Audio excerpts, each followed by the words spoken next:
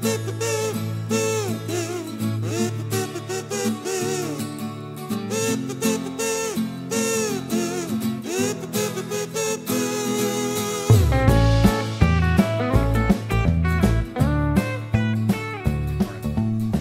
we're at it again. We're out in the woods.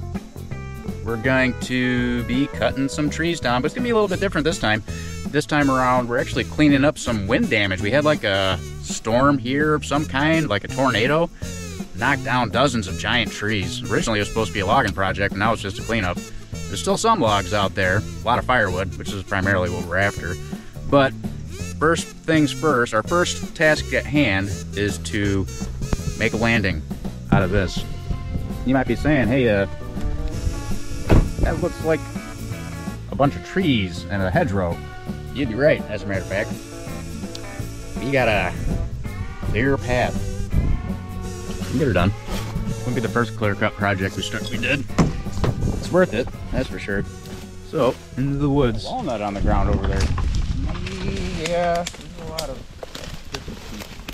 If you're real quiet, you can observe the John Deere in his natural habitat resting. First, before we awaken the beast, we have to make our sacrifices. She requires fuel and hydraulic oil. Yeah, before she'll skid the logs. Some big skeeters here. If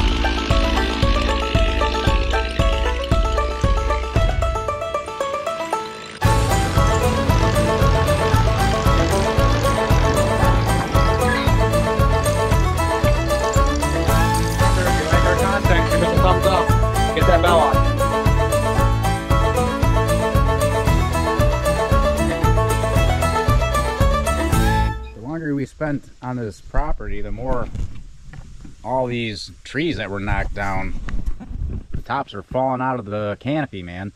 We're wandering around in the woods and there's these branches falling on us. The cursed property. We're real nervous of these trees falling on us here. Woods are dangerous.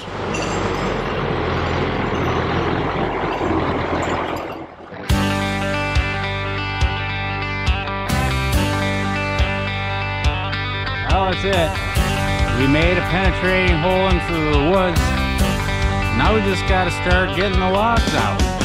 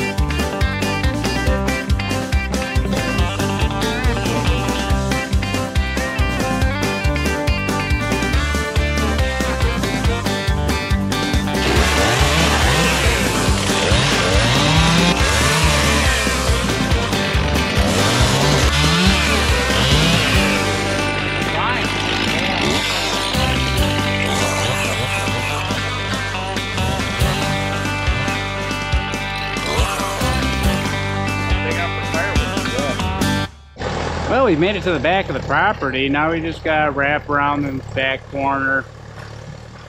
Holy cow, talk about devastation. The storm came through here, just totally leveled things. There's trees down all over the place. We've been dodging branches all afternoon, just falling out of the canopy. It's crazy.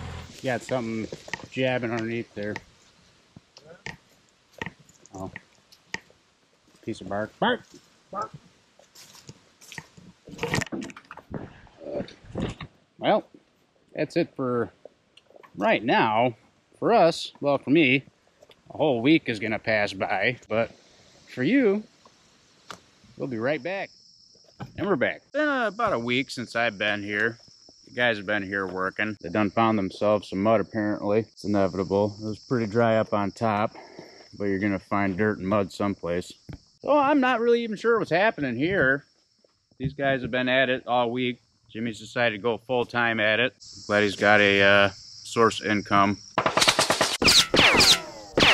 But having said that, and for my three loyal viewers, it looks kind of important to say that I really appreciate you guys. But I'm going to be probably taking a step back for a little while. I don't know what I'm doing wrong with the content. I mean, obviously, I don't have charisma. I mean, you're born with that. I don't know how to gain it. I really enjoy what I, I do with the edits, though, so I'm not done for good. I just need to change direction. I'm not getting any traction on YouTube, Facebook. They don't care what I'm doing. I haven't gained any traction. Shorts do pretty good. Now, I don't want people that watch me all the time to think that I don't appreciate their views. That's fully, that's not even it. You, you guys keep me, keep me going. You're the reason I still do this. But I got to change something in my content. I got to maybe make videos that are more together instead of just uh, music comp compilations and such. So this isn't a goodbye. This is I'll see you in a little while. I need to regroup and figure out what I'm doing with this content thing. Fun though. So if you would please stay tuned. I got at least one good musical compilation left in me.